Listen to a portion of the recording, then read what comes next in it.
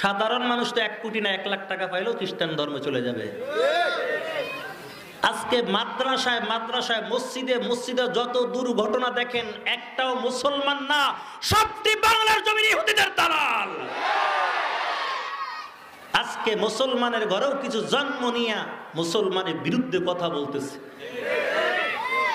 এ কত বড় নাস্তিক হলে আজকে রাশেদ খান, মেনন সে বলতেছে যে এই দেশের মধ্যে নাকি অলামায় কেরাম হিন্দুদের উপর আক্রমণ করে, বৌদ্ধদের উপর আক্রমণ করে।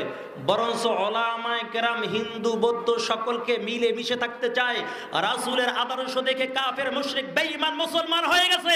আমরা মুসলমান এমন ভাবে চলতে চাই, আমাদের চরিত্র দেখে হিন্দু, বেঈমান, নাস্তিক দলে মুসলমান হবে। তবে এই বাংলার জমিনে কোন নাস্তিক বেঈমান ইসলামের বিপক্ষে কথা বলে টিকতে পারে নাই। রাশেদ কামিরনকে বলব, তুমি ওই বাংলার জমিনে টিকতে পারবে না। প্রধানমন্ত্রী যদি বিচার না করে, আমাদের হাতে তুলে দাও। সকালবেলা তোমার চামড়াও জমিনে খুঁজে পাইবে না।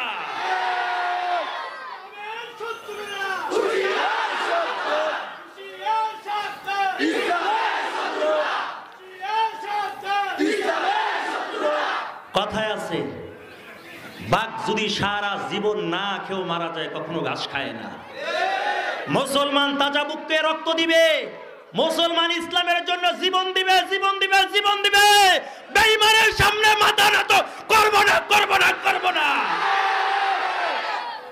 হে যুবকের দল, আজকে যদি নবীর আদর্শ সম্পর্কে বর্ণনা করি, তোমরা পাগল হয়ে যাবা। তোমরা চিন্তা করবে, এই সমস্ত বেঈমানকে ধরে ধরে তারপর জবাই দিব। আমরা যদি নবীর সুন্নাহ সম্পর্কে বয়ান করি, নবীর ভালোবাসা সম্পর্কে বয়ান করি, তাহলে আমি মনে করি এই ময়দান থেকে হাজার হাজার যুবক শপথ নেবে।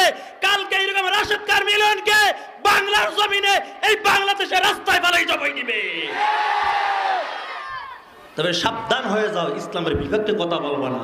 আমরা মুসলমান উগ্রবাদী নয়, জঙ্গিবাদ নয়। আমরা চাই মানুষের শান্তি। আমরা কোনদিন রাস্তায় নেমে আন্দোলন করিনি আজকে চাউলের কেজি একশো টাকা কেন? আমরা কোনদিন রাস্তায় নেমে আন্দোলন করে নাই, পেঁয়াজের কেজি ষাট টাকা, সত্তর টাকা কেন? আমাদের একমাত্র ভরসার মালিক আল্লাহ। আল্লাহ খাওয়াইতেছে চাউলের কেজি যদি পাঁচশো টাকাও হয় আল্লাহ খাওয়াইবে। মানুষকে আল্লাহ না খাওয়াই মারবে না। আমাদের বিশ্বাস একমাত্র আল্লাহর উপরে। তবে সাবধান করে দেই, যারা ইসলামের বিপক্ষে কথা বলবে, হে যুবক, এখান থেকে শপথ নাও। ওদের বিচার বাংলার জন্য